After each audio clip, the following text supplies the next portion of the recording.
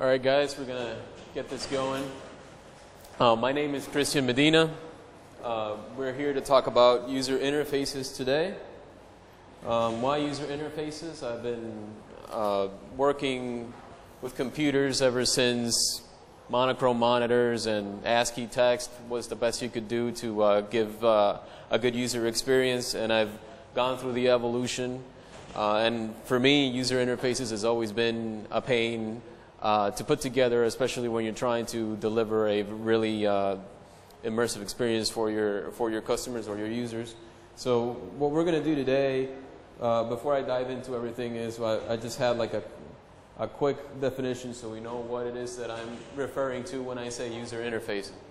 Um, and really, my favorite definition is uh, uh, Wikipedia is it's the space in which human and computer interactions occur. So we're not just talking about graphics, we're not just talking about um, showing something to the user, but also getting uh, uh, input from the user, right? Uh, so what we're going to do is we're going to start with a little bit of uh, uh, the story in Python of the different things and uh, systems at the different levels as user interfaces have, have evolved. Uh, we'll go into, I'll mention some of the libraries. I can't get into all the details. Um, this is just stuff I've run into over the years. Um, and hopefully you guys can get something from here that you can go uh, look up uh, for more information later. Um, so for the very basic things for text-based and command line interfaces, um, this is when you're just uh, trying to either parse information from your uh, from your users, grab some uh, grab some input, or when you're trying to show something in a prettier way, let's say, uh, out in a terminal or command line. Uh, these are the libraries that I use the most. Uh, DocOpt and Click are great for parsing parameters off of command line input. And then terminal tables is a way of presenting tabular data for you.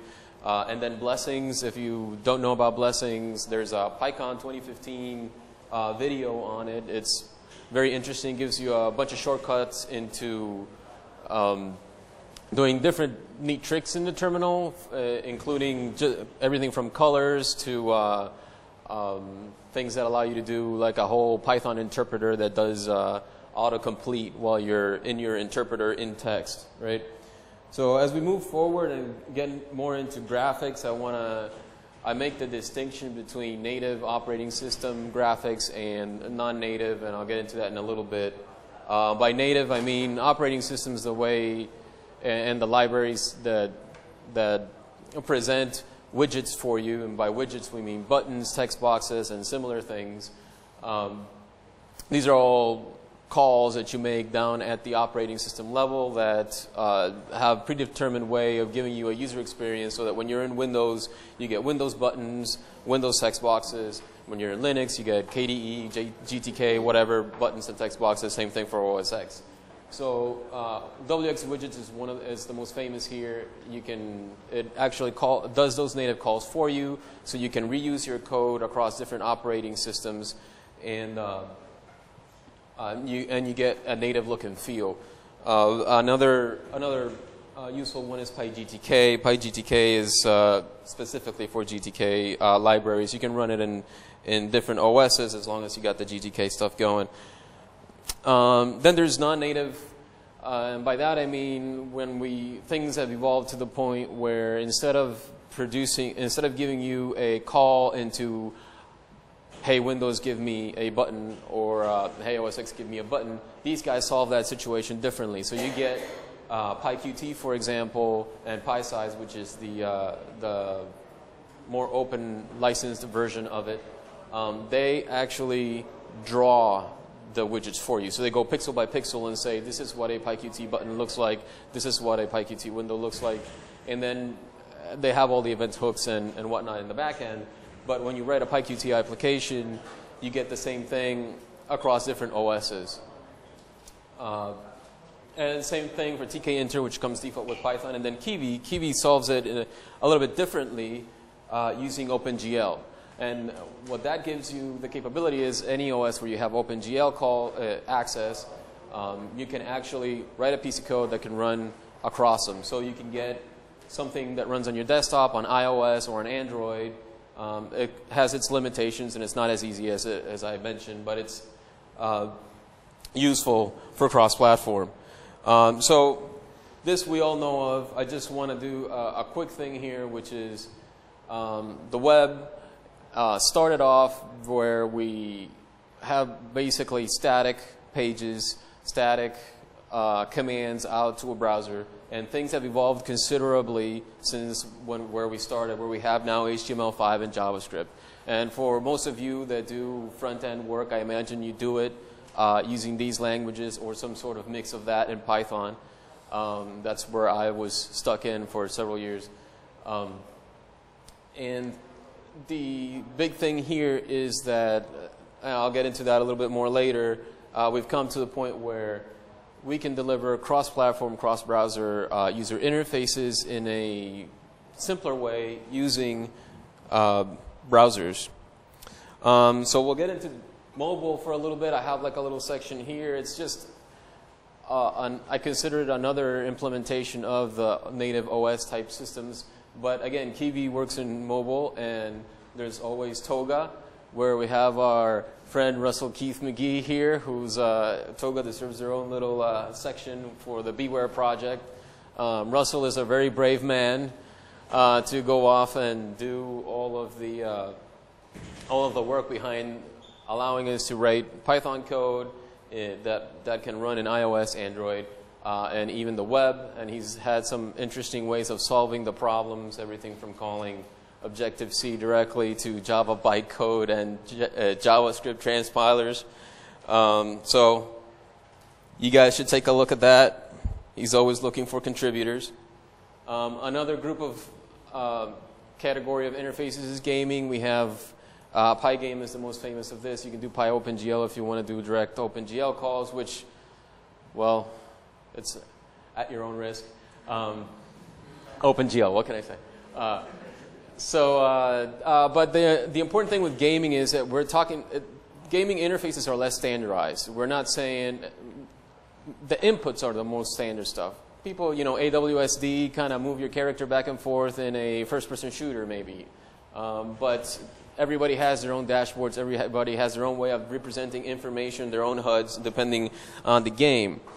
Uh, uh, I do want to have a section for chatbots because that's a thing now. For me, chatbots is just a specialized implementation of command line interfaces where you parse information from a more natural language type system. Um, Chatterbot is a Python module specifically for making chatbots. Um, NLTK, if you haven't looked at that, the natural language toolkit is great to get uh, parsing just normal conversation books, things like that. And they have a very good online PDF, HTML like uh, manual that'll give you an idea of all the intricacies that go behind this. spaCy is similar to NLTK. Um, and then the big question is, what does Python do when you want to get into virtual and augmented reality? And this is one of the things that I kind of uh, been wanting to uh, get into and see what we can do. So I like fiddling. Um, and so when I started doing these things, one of my main goals was pretty much experimenting and trying to learn more Python language features. Specifically, I wanted to get into a bit more of async I.O. I wanted to research all the tech that we had out there to see if we can put something together where we can use Python uh, to uh, reduce boilerplate code because I've spent a lot of a lot of time writing JavaScript and I want to reduce that as much as possible. Um, and of course, I want to take advantage of object inheritance, and the whole point of that being if I make um, image widget and then I want to make a gallery, I just want to be able to reuse my image widget, make my gallery, uh, make it pip installable and distribute it, right? Um, and stop reinventing the wheel, obviously. So the technology does exist today. We can still can still use some work, but so everything I started from the idea of let's try work, try and see how far we can get with just browsers. Um, the like I was saying earlier, JavaScript got a huge efficiency bump many years ago uh, from Google and Mozilla projects, and they CSS and HTML5 came along, and they've given you access to uh, considerable improvements as, as far as video and even in mobile, you can access your different inputs that you have in mobile, like swipes, multi-touch, cameras, accelerometers, and things like that. So we're going to base things on browsers, and then we're going to look at what um, widget libraries are out there. The, this is a thing. Now you can actually say, hey, I want a Bootstrap, uh, which is a CSS or JavaScript library that gets distributed for, for web pages. I'm sure some of you have used it. Is the most common one. Or material design that's kind of like the Android design. Um, so I can, I can get the same look and feel. People, people are used to working with web now versus some years ago where if you made an application that didn't quite go with the operating system you were running on, people were like, oh man, what is this? This, this is not a Windows app, or especially in, in the initial Java days.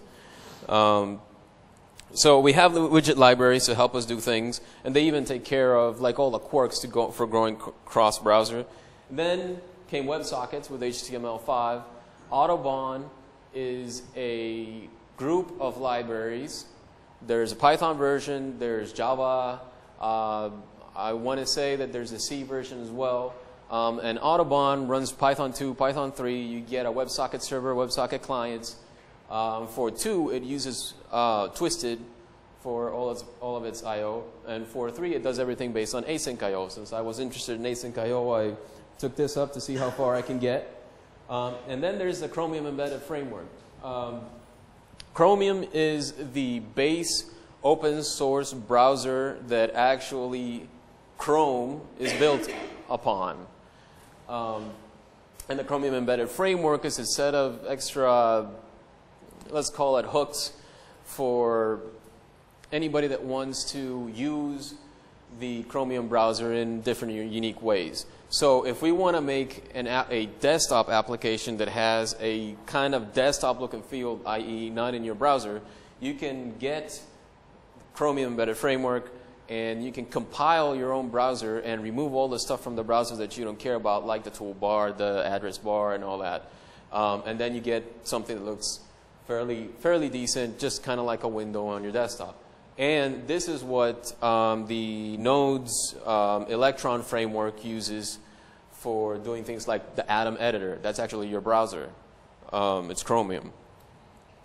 Um, so then the other thing to point out is that we have excellent, um, maybe from after this morning's keynote, maybe not so excellent, but um, Python uh, packaging index and uh, uh, packaging distribution. So I want to use that for widgets and, and components in general. So that if I, you can, you can, even with this, you can think of setting up a, some sort of, of uh, marketplace like you just have online for different templates or themes that you can get for your, for your widgets. You could just as easily write um, a widget, put it up on PyPI, and anybody can pip install it uh, and just build upon it. And then we have uh, Python application packaging has evolved considerably over the years.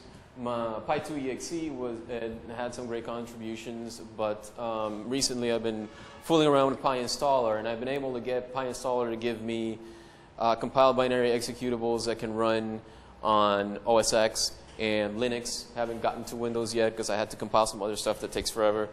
Uh, but yeah, so so we're getting there, right?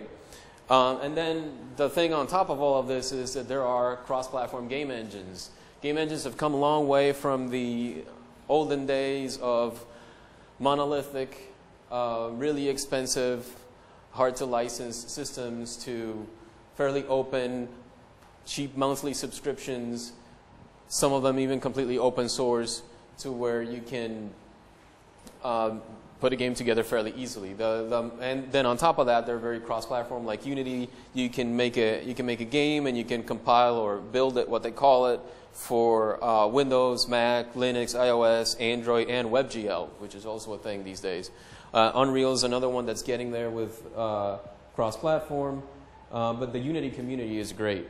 So I wanted to see what I could do with all these things put together, and so let's see how far I got. I uh, made package is called sofi. Uh, it's the base core of it. I call it a protocol because really that's what I wound up, that was really the core. Um, it's an async IO WebSocket server. Uh, and then there's like a command and event control system so that you run your Python application, you open a WebSocket server, you automatically direct your computer to open a browser. The browser goes to uh, an HTML page that comes in with the package. The HTML page is pretty much blank. It only has what you need in there to load the JavaScript needed to open a WebSocket client to Python. So then everything else is controlled through Python. Um, then I took Bootstrap, because that's what I used the most and had, was most familiar with. You can just as easily use something else. And I kind of wrapped most of their widgets in Python objects. And I used the uh, dunder string method to uh, spit out the HTML.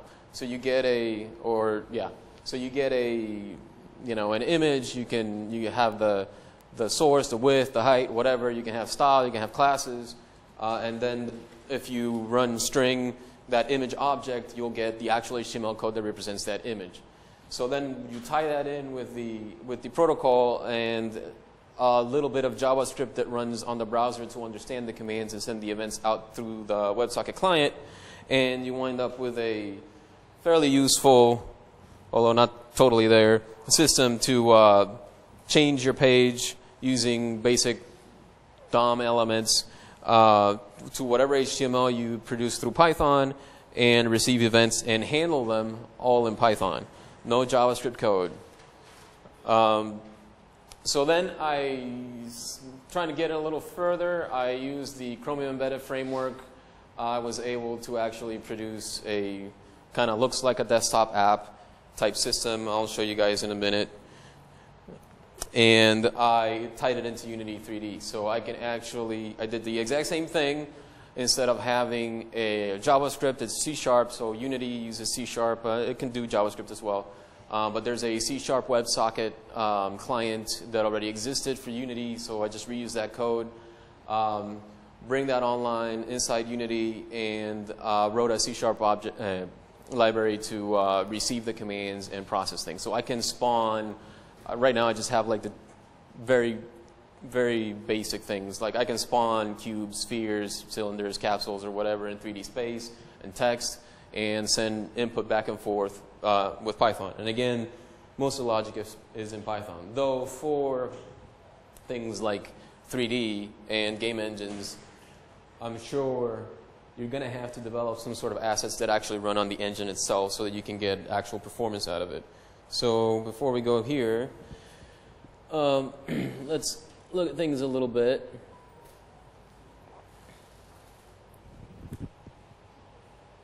So this is, if the demo gods allow me to show you.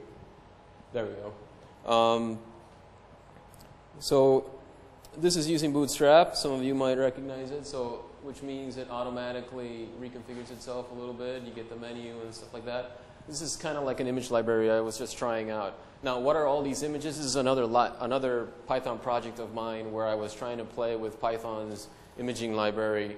Um, and I took um, just general files you have lying around and took the binary code and produced uh, an image out of it. So this is, this is Flask zipped up.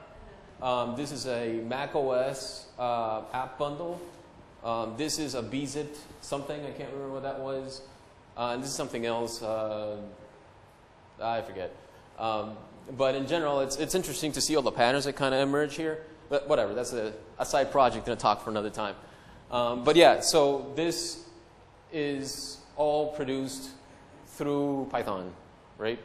Um, like I said, this browser is the Simple version, so I didn't even like do any of my own customizations. If you go to the Chromium Embedded Framework website, um, you can download and compile cefsimple, which is, has all the browser stuff stripped out, um, and it's Chrome pretty much. You run it and talks to Python. Python tells it what to display. I can even, so these are fairly large images, so I didn't do that.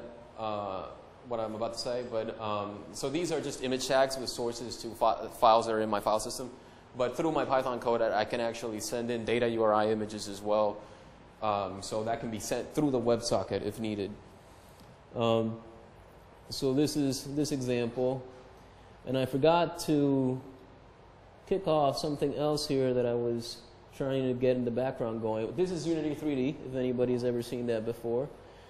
Um, that's what it looks like. So my original plan for this talk was to give it all in Unity, um, but it just didn't look all that great, so I figured I'd just start here. So I actually wrote a slide presentation for all of this, so I can, my, my same slides are all here. Um, so you can see I hit my keyboard, events are coming in, those are going off to Python. Python saying, oh, I received the key, what do you want to do? It changes the text. What are these cubes? These are tweets. I got Tweepy running in the background. You can see some of the text. Uh, doesn't help very much. If it's red, it was a retweet. If it's gray, it's just a, a normal tweet. Um, this is plugged in. It's just running hashtag Python. Luckily, Python is a very popular topic, not just because of the language, but because of Monty Python, which is how this whole thing started anyway, and actual Pythons. Um, but, uh, but yeah, so, so that gives you an example. I wanted to like run this through the whole talk, and so we had like a whole big pile of cubes going in the background, but uh, I forgot to start and started. Um, but just to show you that this actually does exist and actually is running code. Um, so this is my listener. Um, this is this section of code is where I'm saying, hey, Unity, I want you to spawn an object for me. Um, can expand this a little bit. Okay. Um, yeah, and so like right now it's doing cubes, so let's change it to do capsules. Something like that. Um, go back to here, run it there. It's waiting for the server. Server runs. There we go. And we got capsules instead of cubes. And they roll because physics actually works in here. So, yeah, this is what I've been fiddling with. Um, so the other advan- the other nice thing about this is I can actually it's it's Unity. Unity actually compiles the game, so I can actually build. This is inside the editor, but I can actually build um, a, a, thing that'll look just like the the original app I showed you. That was a website um, that looks like an application, like an actual application um, and it'll run iOS, Android, whatever I build it for. Um, but yeah, so you guys can keep tweeting, and we'll keep seeing more capsules come up here. But um, so this is what I got. It's been interesting uh, so far. I think we've been able to get fairly far with it. And my main my main thing here is what can we do with Python, Python to make sure that we're ready for user interfaces of the future? Uh, more specifically, AR is a big thing, um, and so is VR. I think for Python, AR will be more useful, especially because we have so much um, image processing available and so many back-end tools uh, for scientific computing to produce better visualizations and all of that. And if I have to go and install, spend hours just trying to install all the back-end tools that are needed to get things working in the first place, why not just produce kind of like my own version of Bootstrap, but it's really Unity 3D game that gives you all the basics that you need to just spawn stuff in 3D space that represents uh, whatever it is that you're working on. So I'm good. Thanks. Um, this was fun thing to put together. Questions? Sure.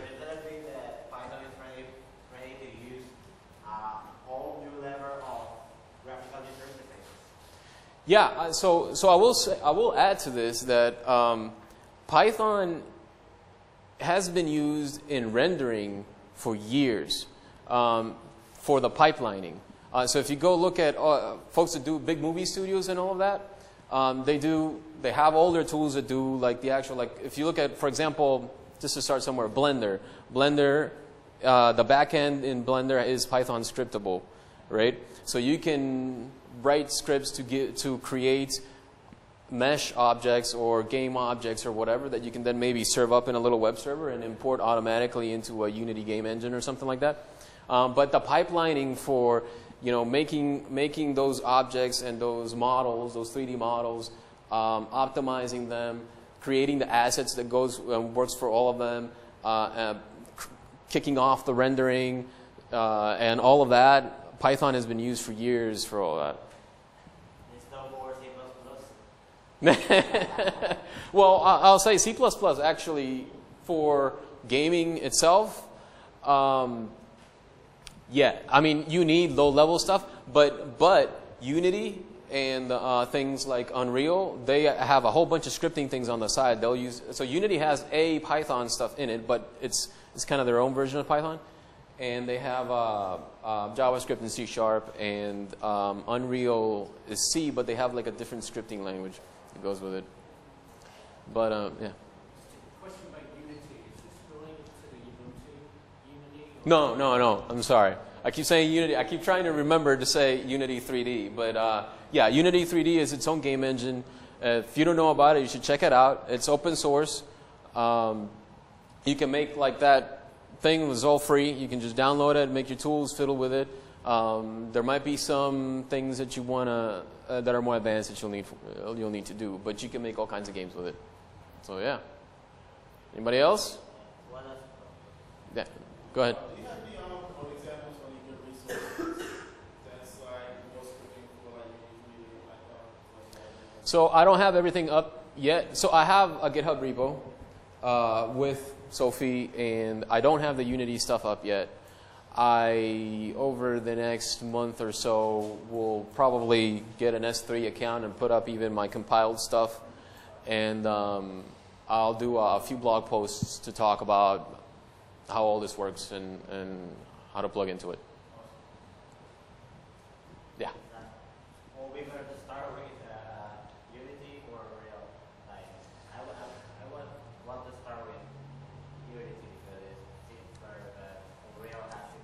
So I can only talk about my experiences because this is like a religion, just like we were, I was talking to somebody earlier about, you know, Python versus C and indenting and all of that. Um, so uh, Unreal will get you, last I checked, better graphics. Um, but if you're not doing anything completely crazily advanced in that sense, um, Unity's fine. And if you're just starting, Unity's not a bad place to start because there's a very large community for you to get help. Um, and uh, there's a, they have like a, a yearly conference too called Unite. Um, I don't know where it is this year. Uh, I think it's in LA actually. Um, but uh, but yeah, and so you get there's a there's a lot of tools that ca- that you can import things into Unity from.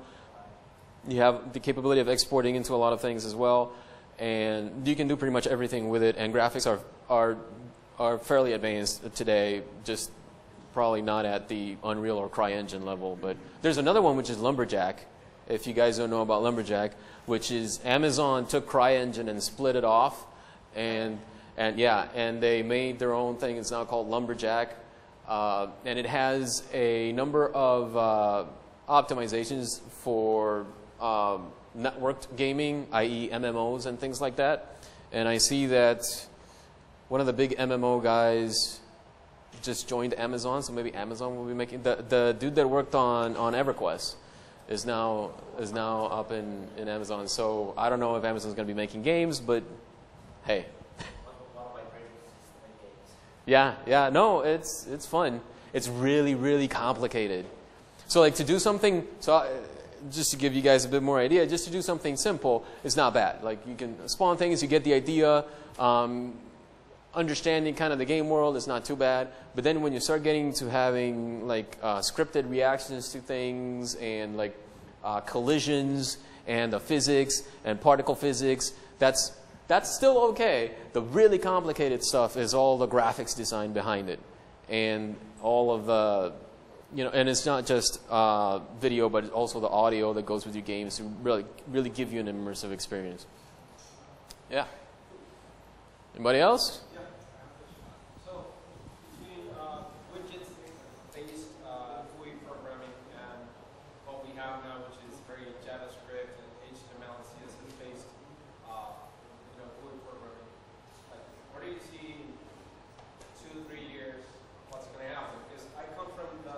sure. Like things like React Native and those sorts of sure. So somebody already took just you said React, and somebody already took sofi and forked it and have React running in the background. Um, but uh, yeah, as far as um, the future, I you know, there's there's a new JavaScript library what every second. Maybe we should have like a running clock till the next JavaScript library. Um, I I find it easier to reason about it like widgets than some back-end uh, thing that's just automatically watching data to make changes for you and stuff like that, which is what React does.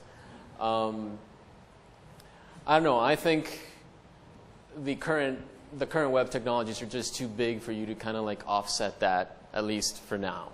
So for the foreseeable future, you're going to be stuck with most of that. All right. Anyone else? Cool. Well, thanks, everybody.